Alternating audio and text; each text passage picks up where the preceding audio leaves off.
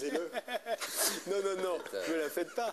On sait bien que deux fois par jour au moins, il faut sortir de son hôtel et aller voir un film. Et vous savez bien que pendant ces 10 minutes, 15 minutes, 20 minutes que dure le transport, vous allez devoir affronter quoi qu'il arrive. Non, non, mais j'ai demandé un hélicoptère, moi. Non, je, je passe par je la- suis sûr la- que non.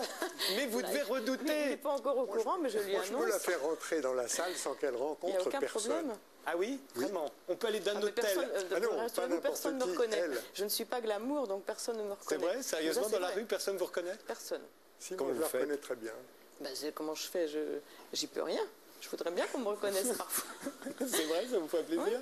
Bah, un petit peu quand même, oui. C'est pourquoi? C'est parce que une Généralement, fois, on me prend pour une autre, parce qu'une fois cousine. débarrassé du rôle, vous êtes comme vidé et on ne vous voit plus? Il paraît que c'est ce qui arrive euh, à Robert De Niro aussi. Voilà. Mais d'ailleurs, on avait rendez-vous l'un avec l'autre, on ne s'est pas reconnus.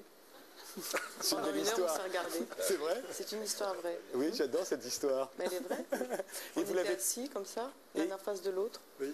Et Robert De Niro ne ressemble plus à Robert De Niro quand il est débarrassé de son rôle? Euh, non, la preuve, c'est que je ne l'ai pas reconnu. Et lui non plus m'a pas reconnu. Enfin, lui, je peux vous raconter normal. une petite histoire dans le même esprit.